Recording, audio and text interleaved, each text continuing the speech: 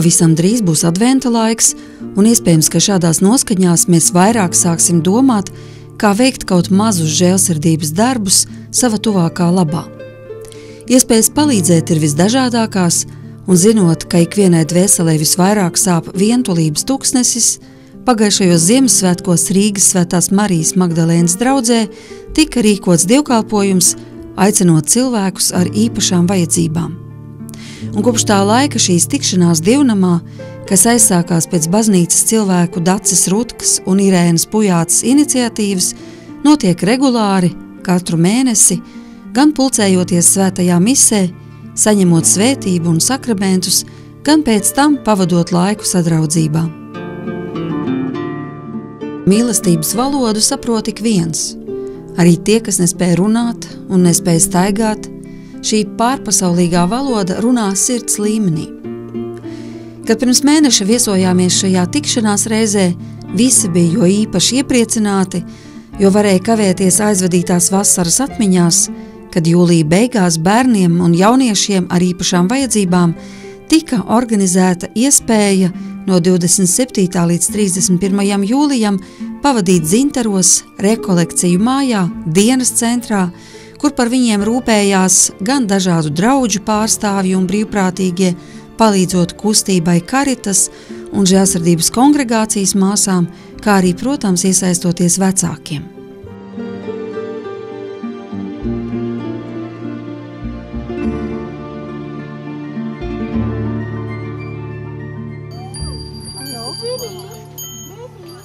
Rīts sākās ar brokastīm un rīta apli, kad visi sapulcējās kopā, lai sveiktu ikvienu dalībnieku. Labdien, gastīs, labdien, gastīs, ir viens, visi tevi mīlai, tevi zināja, nāc pie mums, nāc pie mums.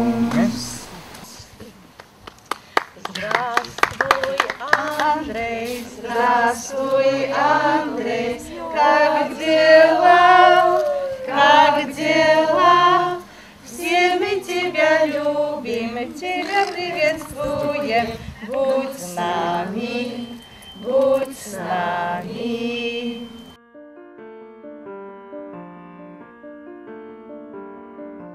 Pēc rīta tikšanās katrs asistents atbilstoši bērna spējām izvēlējās tam piemērotāko nodarbi, pusdienlaikā katru dienu notika dievkalpojums, un, protams, ka neiztika arī bez rotaļām un spēlēm un iešanas uz jūru, un bija bērni, kas jūru redzēja pirmo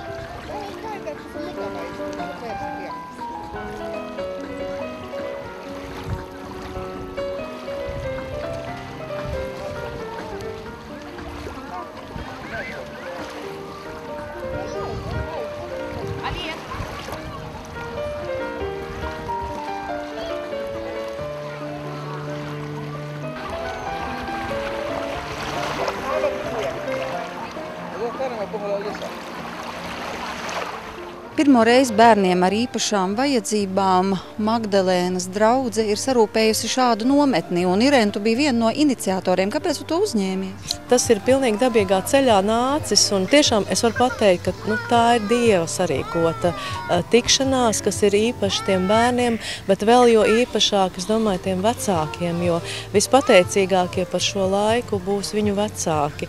Tā būs iespēja viņiem atpūsties un pabūt kopā, un, un mēs esam priekš tā tā, lai mazliet viņus arī atslogotu. Un, un tā pateicība, kas nāk tiešām no viņiem, jo, jo viņi ir pateicīgi, ka vispār par šiem cilvēkiem, par šiem bērniem ir kāda interese vai kāds kaut ko uzdrošinās. Un, un viena mamma pat no alūksnes, viņa teica, jūs esat vienkārši traki traki, neapzinoties to, cik smagi ir šie bērniņi. Tīri ar, nu, teiksim, vidējais tas ir tas C līmenītis, kur, kur visa mūsu programma, teiksim, ko bija māsas iecerējuši, kalkutas māsiņas, viņām tiešām liela pateicība par to, jo, nu, kā viņas ņemās un, un, un darbojās ar tiem bērniem, tas ir vienkārši kaut kas vienreizējs. Nu, jā, kā teica tā alūksnes mamīte, ka tie bērni ir ļoti smagā stāvoklī. Un, bet tas jau arī ir ļoti liels līdzpārdzīvojums arī jums, arī tev. Nu, grūti. Nu, pirmais tiešām gribas raudāt, redzot, nu, cik viņiem ir grūtas dzīves. Bet pēc tam nāk tās otrās emocijas, ka rodas tā kā prieks redzot, ka Nu jā. ka viņus tā mīl. Jā. Tieši tā, un, un viņi tiešām ir, ir vienreizēji savā būtībā. Un tas tāds viens no pēdējiem vēlējumiem bija no vienas sociālās pedagoģis, kad, kura pati nevarēja piedalīties. Viņa teica, pieņemiet tos bērnus tādi, kādi viņi ir. Un viņi ir laimīgi savā kaut kādā pasaulītē, savā būtībā. Jā. Un varbūt dažkārt mēs esam tie nelaimīgie, kas viņiem ir blakus, jo mēs nesaprotam, ne, neiztulkojam vēl viņu žestus, viņu izteiksmes veidu, viņu valodu. Un, un tā kā tas viss, faktiski tā, šīs četras dienas visiem ir ļoti liela skola, bet par ko man ir ļoti milzīgs prieks ir tiešām šie cilvēki, kas ir blakus. Mēs gribējām, lai ir katram viens asistents vai, vai divi tie asistenti. Nu, katrā gadījumā vismaz viens, kas pieteiktos kā brīvprātīgais. Un mazliet mēs izsludinājām, palaidām to informāciju zvana vieni, zvana otri, zvana pilnīgi sveši cilvēki no ogras slimnīcas, piemēram, ir divas asistentes, viņi piesakās. Un faktiski, jā, mēs bez īpašām pūlēm, mēs savācām tos cilvēkus brīvprātīgos, kuri bija ar mieru nākt un mēģināt, neskatoties to, ka viņi pat nav to darījuši nekad iepriekš.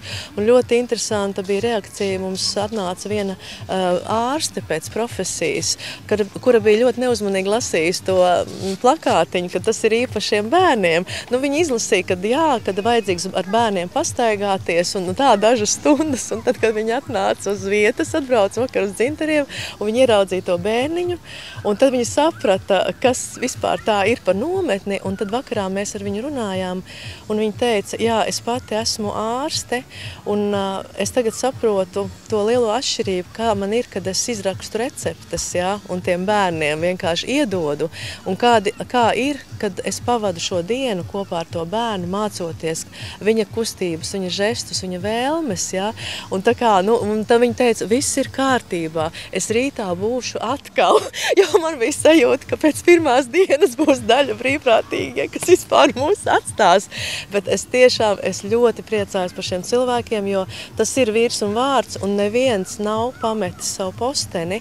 It kā tagad pat šīs dienas ir, ir ļoti smagas, ja? un smagi redzot arī un klausoties, kā vecāki cīnās par saviem bērniem, kad nav īpaši atbalsta arī teiksim, gan no valsts struktūrām, un, un kā viņi iet ar saviem bērniem eh, pa dažādām uh, iestādēm, meklēdami teiksim, atbalstu, atspēju, tāpat visi šie ratiņkrēsli, kas ir neadekvāti šiem bērniem. Mēs izmēģināsim šīs četras dienas, bet uh, vienmēr ir tā, ka iedomājas, bet viņiem ir visa dzīve, un viņi ir tādi, kas vecāki, kas neatsakās no saviem bērniem, ka viņi Viņiem būtu iespēja ielikt viņus teiksim, internāta skolā, pansionātā un vienkārši atstāt, bet viņi to nedara.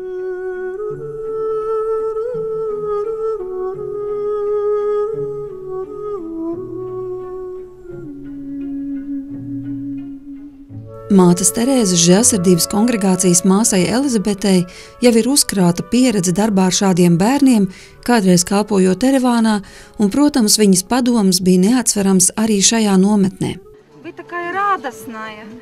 Jūs visas dienas esat tik priecīga, un es domāju, kā ir iespējams šādu prieku saglabāt tādos apstākļos. Tāpēc, ka es ļoti mīlu šos bērnus. Viņi sniedz daudz mīlestības. Mēs redzam varbūt to, kas ir tā kā nelaime, bet viņos ļoti spēcīgi dzīvo Dieva mīlestība, un viņi uz to atsaucas. Un viņa arī atsaucas mīlestības valodai. Es mīlu šos bērnus, es nevaru to paskaidrot. Viņi to jūt, šo mīlestību.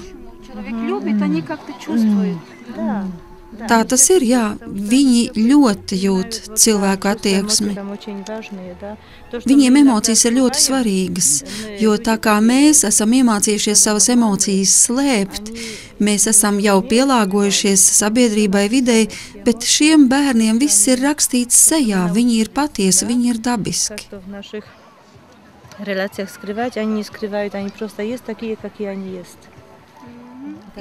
Un vēl es sajūtu, ka ir ļoti liela dieva klātbūtne.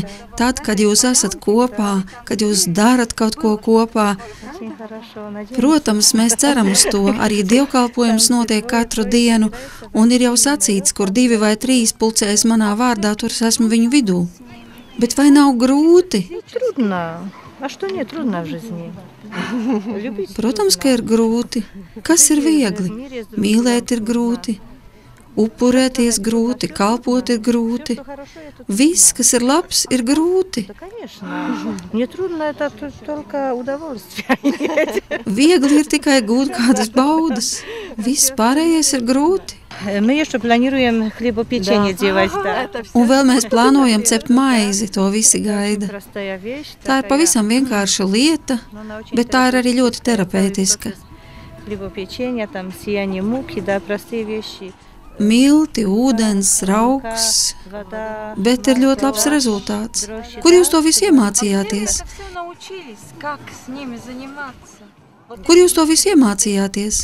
Es 17 gadus strādāju ar šiem bērniem, 13 gadus Maskavā un 4 gadus Armēnijā. Mēs daudz esam sadarbojušies ar dažādiem rehabilitācijas centriem, tā kā esmu iemācījusies, gandrīz kā daudz bērnu mamma.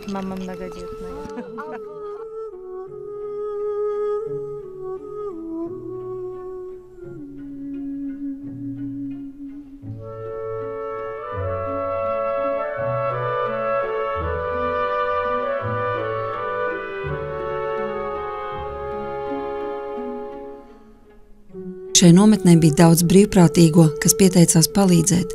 Tā skaitā firma Sija Deserta, kuri par brīvu sarīkoja bērniem smilšu kino seansu, kā arī iespēju darboties ar aplikācijām.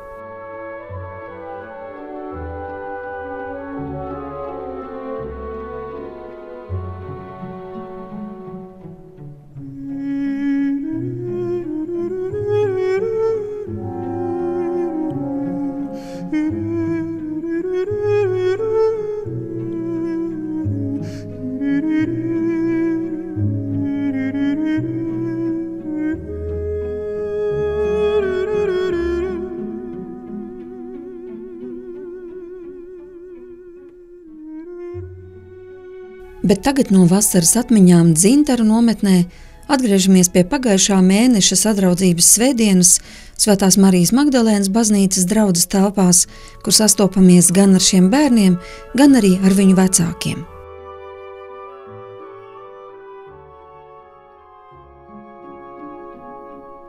Jūs tagad pirmo reizi redzējāt to Jā. dzintaru nometni vasarā. Jā, Nebija tā kā bail atlaist puiku uz nometni bez pieskatīšanas, ka pašas nav klāt. ļoti liels bāzes man bija. Iekšējais negribas man bija tāds vispār. Kā viņam ies, jo viņam viņš ir nerunājuši puika, viņu, vai viņi sapratīs viņu. Viņam ir ļoti skaistas acis. Jā, Viņam ir skaists. Nu, mums ir iekšējā valodiņa. Skolotāja teica, skol... viņš saprast. Visi cilvēki atnāk, kā viņi runāt. Nu, runāt tā kā mēs ar jums runājam. Viņš, visu saprot. nu kā jūs vispār ar to situāciju tiekat galā, jo tas ir pilnīgi nu, citāda dzīve, nenoliedzami pilnīgi savādāka. Nu. Ir cilvēki, kas izvēlas nu, kaut kur atdot pansionātā bērnus vai tā, bet ka ir vecāki, kas nemūžam to nedarīs. Un jūs esat es viena no tā. Es no mūža. Kamēr man veselība atļaus, tad būs ar puiku kopā. Es nevaru tā. Viņam, viņam atdot kaut ko. Es nevaru. Tas ir mans bērns. Nu, visa dzīve, mana dzīve, viņa dzīve. Nu, jā. Jūs tagad uz baznīcu arī atnācāt, un jau ne pirmo reizi, kā es saprotu. Nu, mums, kā Irēna uzlūdz, tad mēs, mēs nākam.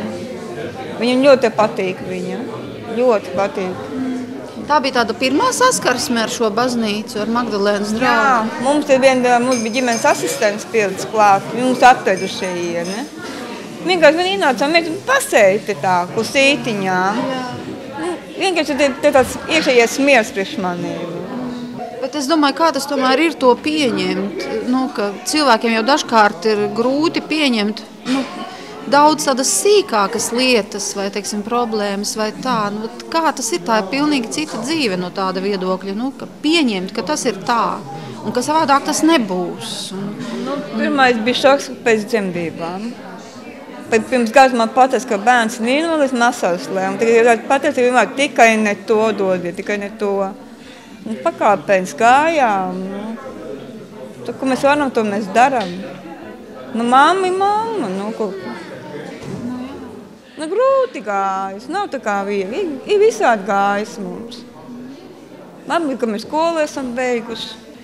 Tev tā vasaras nometne patika? Vasarā, kad tu biji tur, tur jūrmalā, kur tā jūra bija. Patika tev? Jā.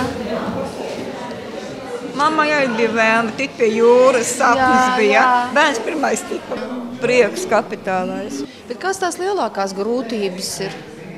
Nu, tā ikdienā, kas ir tas visgrūtākais? Grūtākais ir braukšana. Braukšana, rati, cilvēku attieksme. Nu, vi- visādas problēmas. Galvenais mums ir tie rati. Jo visās, jā, mēs esam ergoterapijā bijuši, kur rati mums nav tādi. Bet kas ir ar ratiem pa problēmu? Mums Tie ir šie rati, ja? Jā, mums vajag uh, ratus, apmēram tās pašas, bet lai mēs tā kā redzam, ka mēs ar slīpu sēžamies, tad tā kā kastē, bedrē, Jā, jā. mums jābūt taisnai mugurai. Nav Pilnībā ratu. rati nav, nav mums rati. Bet tas ir naudas jautājums, vai tas ir tas, ka tādu ratu nav Latvijā? Mēs ejam internetā, ir uh, palīdzi .lv internetā, ir rati. Ja mēs gribam viņu dabūt elektriskos ratiņus, lai viņi būtu ko braukt pašam, ko darīt ar rociņām. Viņam nav gribas spēku to darīt ar rokām, neko. Ir, bet naudas nav. Nav tāda summa. Vairāk nekā tūkstošiem maksā tie rati. Mēs, tos mēs raci nomājam no vaivariem, bet stāvām rindā. Kāds būs, nav zināms. Mēs jau gadu laikam stāvām rindā, nav. Nu, Līdz ar to Mārtiņam vienkārši mugura deformējas, jo vienkārši ir nepareizi rati. Mums ir uh, mugura deformējusies, jo mums liekas mugurkauls jau ir. Uh. Sēžamies tā kā viņš mēs ne, nemākam sēdēt, mums, mēs gāžamies visādās pozās. Mums jābūt taisnai mugurai. To nodrošina rati, kuru nav. Jā, to nodrošina rati. Tas nozīmē, ja cilvēki saziedotu, tad jūs varētu pie tādiem ratiem tikt. Ja saziedat, mēs tiktu.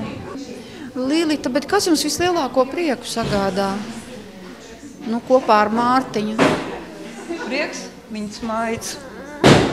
Viņas maids. Kā vārds māma pasaka. Ka, ap, ka no rīta apģērbēts man muči iedod. Tas ir viss. Tas ir tas mana, kā mana balva.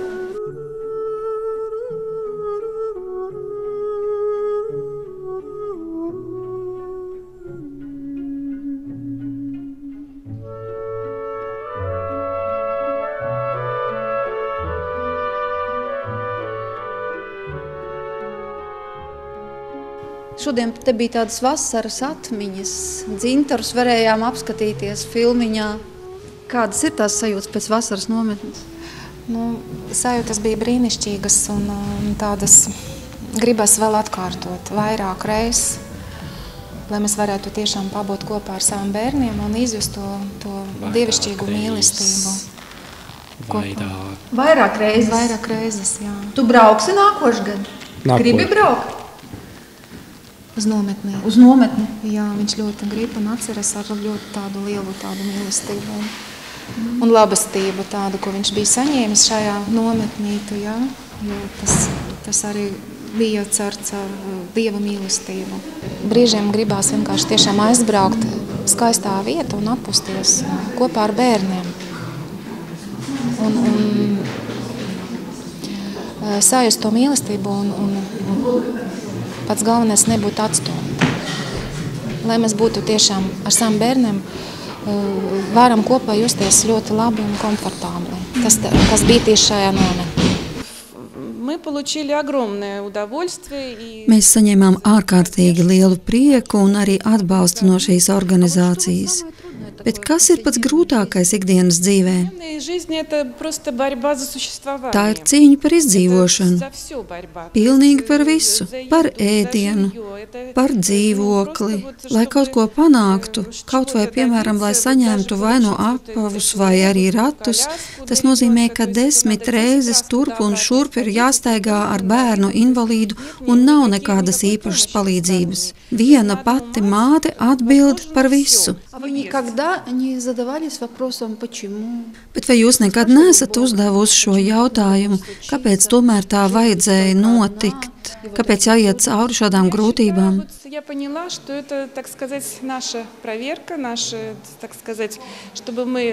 Es saprotu, ka tā mums ir kā pārbaude, lai mūsu dvēsele nekļūtu cieta, nejūtīga, bet lai mēs ar labestību turpinātu iet šajā pasaulē uz priekšu, jo mūsu dvēsele attīstās katru dienu.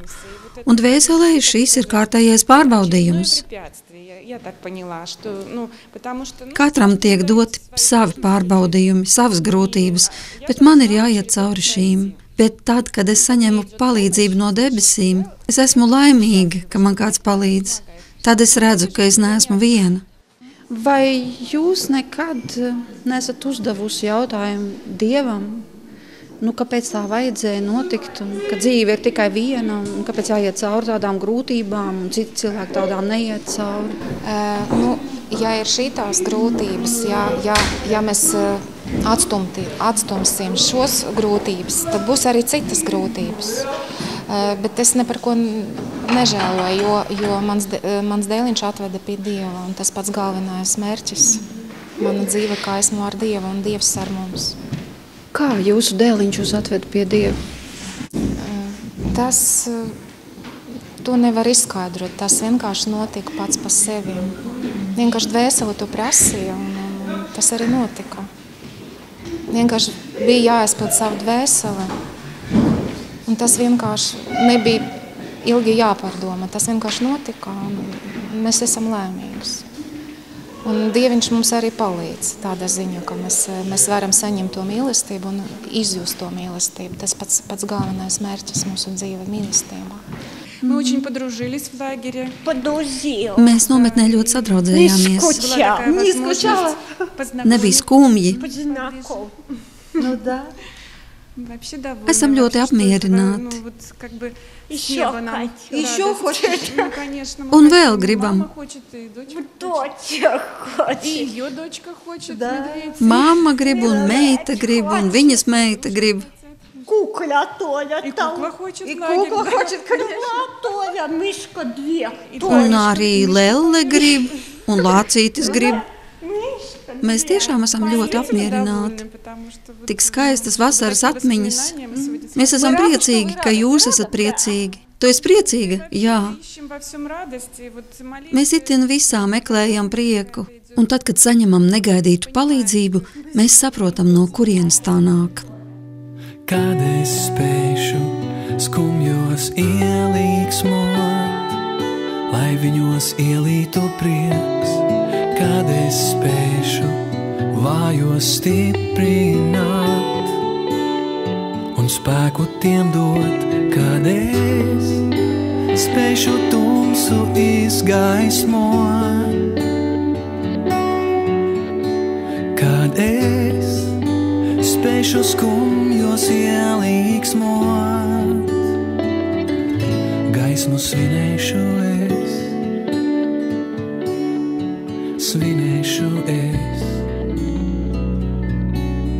Nākošā sadraudzības tikšanās Rīgas Svētās Marijas Magdalēnas draugzē notiks 14. decembrī, 2010. Bet, ja kādam ir vēlēšanās palīdzēt šiem bērniem, tad tuvāku informāciju varat iegūt pa tālruni 20, 25, 88, 19. Spēsim tumsu izgaismot, kad mēs spēsim skumjos ielīgsmot, gaismu svinēsim mēs, gaismu svinēsim mēs,